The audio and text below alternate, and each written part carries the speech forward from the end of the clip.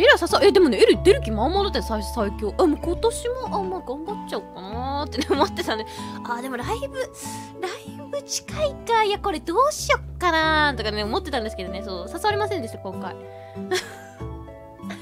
いやそうダイヤさんになっちゃったからな。そうエルさんダイヤ4じゃないんだ。とかなってね。あそうなんでダイヤさんなんです。あじゃあちょっと。みたいな。あそう。2ポイントでかいなーって思ってね。いやデロンちゃんのチーム5位とかだったからさもう絶対アリーナマスターのポイント上がるってデロンちゃん活躍しすぎた。いやねデロンちゃんのねデロンちゃん視点しか見てないけどあのねデロンちゃんのランパート舐めてたね本当に。うまかった。なるほどねって思ってそこにバリケードを張ることであのグレが来た時にグレの範囲を狭めることができるんだって思って。うんとかシーラをね遊びじゃなく使ってるのがねうまかった。本当に。シーラで落とされたらさぞ悔しいよな絶対。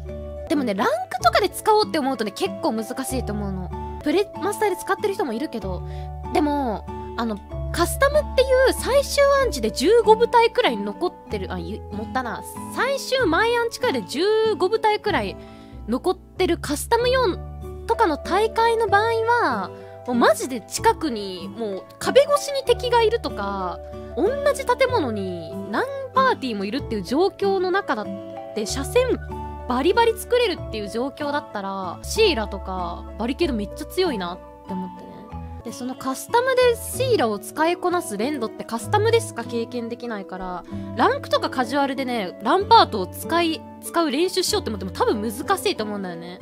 なんかその要塞を作る前に戦闘が始まって終わっちゃったりとかシーラを使うほどでもない戦いとかがほとんどだったりになっちゃうからなんかカスタム経験レロンちゃんいっぱいできてたのは多分ランパート戦としてはめっちゃ良かったのではないかな。なんかだからねあのーポットででランパートを使おうって思っても多分無理なんですよね。ランートのさ壁をね直すスピードとかもあんなに早くできなかったエル見ても。なんかねなんか角度にコツがいるんですよね。ボタン一つで解除できるんですけどランパートの盾をしまうのって。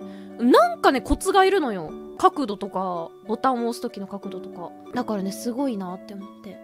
しエマちゃんがね頑張ってジブを使ってるのも偉かったですね。ジブって結構連動がいるから無理無理ってなりがちなところをちゃんとあの時も偉かったと思うもうルーさんとエルと組んだ時もババルキリー全然使ったことないですとか言ってたけど練習しててそうエマちゃんも偉かったなーってね誰だよねんって思う